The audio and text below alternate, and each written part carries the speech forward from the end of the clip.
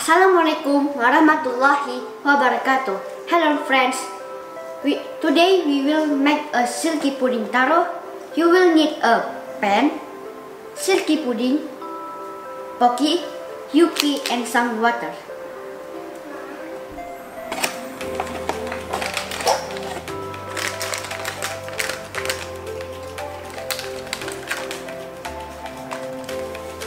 First, pour the pudding to the pan. And add 700 milliliter water.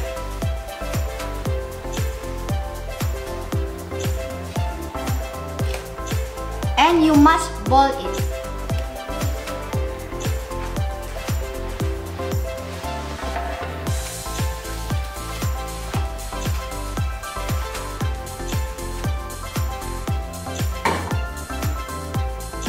Now stirring until boiling.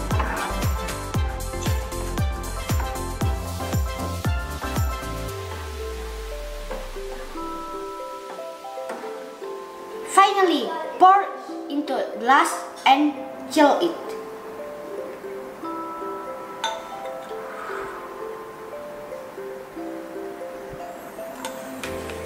After it cold, we know the correct is with Pocky and Yupi to make it more interesting and tasty.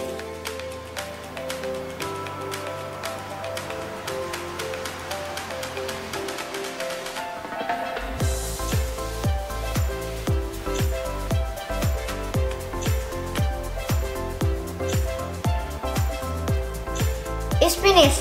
Enjoy it. Enjoy the